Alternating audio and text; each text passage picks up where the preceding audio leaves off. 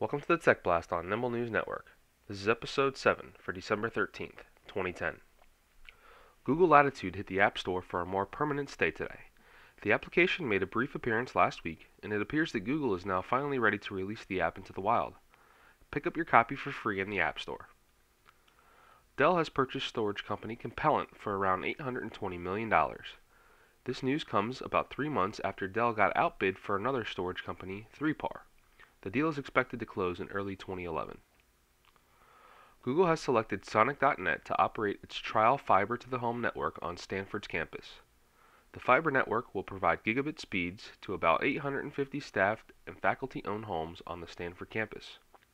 Construction of the network will begin in early 2011. Amazon says they have sold millions of Kindles in the first 73 days of the holiday quarter. They also mentioned that they have sold more Kindles in the past 73 days than they did all last year. For the first time ever, the average US consumer spends as much time online as they do watching TV offline. Expect this number to go up as the internet grows more and more into the lives of consumers.